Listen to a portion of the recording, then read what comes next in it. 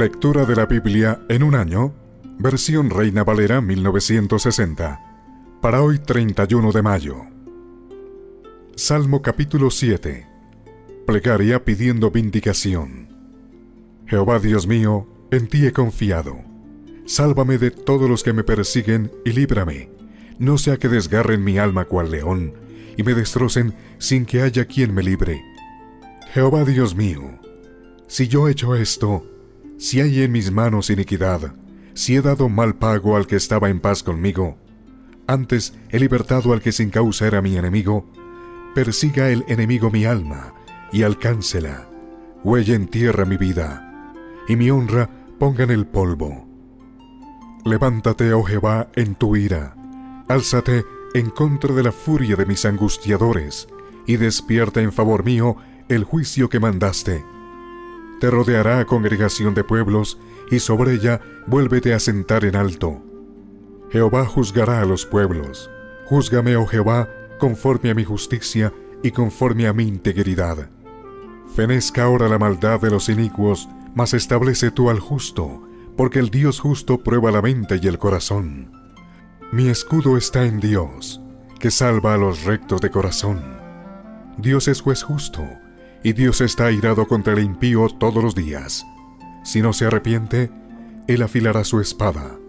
Armado tiene ya su arco, y lo ha preparado. Asimismo, ha preparado armas de muerte y ha labrado saetas ardientes. He aquí, el impío concibió maldad, se preñó de iniquidad, y dio a luz engaño. Pozo acabado y lo ha ahondado, y el hoyo que hizo caerá. Su iniquidad volverá sobre su cabeza, y su agravio caerá sobre su propia coronilla. Alabaré a Jehová conforme a su justicia, y cantaré al nombre de Jehová el Altísimo. Salmo capítulo 8. La gloria de Dios y la honra del hombre. Oh Jehová Señor nuestro, cuán glorioso es tu nombre en toda la tierra. Has puesto tu gloria sobre los cielos. De la boca de los niños y de los que maman, fundaste la fortaleza a causa de tus enemigos, para hacer callar al enemigo y al vengativo. Cuando veo tus cielos, obra de tus dedos, la luna y las estrellas que tú formaste, digo, ¿qué es el hombre para que tengas de él memoria? Y el Hijo del Hombre para que lo visites. Le has hecho poco menor que los ángeles y lo coronaste de gloria y de honra. Le hiciste señorear sobre las obras de tus manos todo lo pusiste debajo de sus pies, ovejas y bueyes, todo ello, y asimismo las bestias del campo, las aves de los cielos y los peces del mar, todo cuanto pasa por los senderos del mar. Oh Jehová, Señor nuestro, cuán grande es tu nombre en toda la tierra. Salmo capítulo 9. Acción de gracias por la justicia de Dios. Te alabaré, oh Jehová, con todo mi corazón. Contaré todas tus maravillas.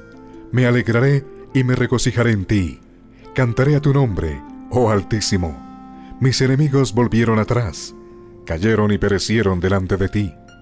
Porque has mantenido mi derecho y mi causa.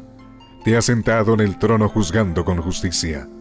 Reprendiste a las naciones, destruiste al malo, borraste el nombre de ellos eternamente y para siempre los enemigos han perecido, han quedado desolados para siempre, y las ciudades que derribaste, su memoria pereció con ellas. Pero Jehová permanecerá para siempre, ha dispuesto su trono para juicio. Él juzgará al mundo con justicia y a los pueblos con rectitud. Jehová será refugio del pobre, refugio para el tiempo de angustia. En ti confiarán los que conocen tu nombre, por cuanto tú, oh Jehová, no desamparaste a los que te buscaron. Cantad a Jehová que habita en Sión, publicad entre los pueblos sus obras, porque el que demanda la sangre se acordó de ellos. No se olvidó del clamor de los afligidos. Ten misericordia de mí, Jehová. Mira mi aflicción que padezco a causa de los que me aborrecen, tú que me levantas de las puertas de la muerte, para que cuente yo todas tus alabanzas en las puertas de la hija de Sión y me goce en tu salvación. Se hundieron las naciones en el hoyo que hicieron, en la red que escondieron fue tomado su pie. Jehová se ha hecho conocer en el juicio que ejecutó.